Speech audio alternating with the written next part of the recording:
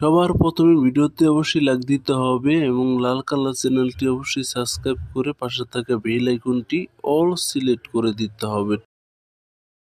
আমরা যে কোনো মোবাইলে যে কোনো ফাইল থেকে একটি সুন্দর ছবি সিলেক্ট করে নিই, তারপর ছবিটিকে ব্যাকগ্রাউন্ডে নিয়ে সুন্দর মতো কালার করে এডিট করে নিই, তারপর টিক চিহ্নতে ক্লিক করে কার্ভে ক্লিক করে ছবিটির কালার একটু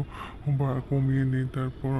আমরা আবার হোয়াইট ব্যালেন্সে ক্লিক করে টেম্পারেচার রুটিন একটু বাড়িয়ে কমিয়ে সুন্দর মতো ছবিটিকে কালারফুল করে নিই এবং বিঘ্নিটিতে ক্লিক করে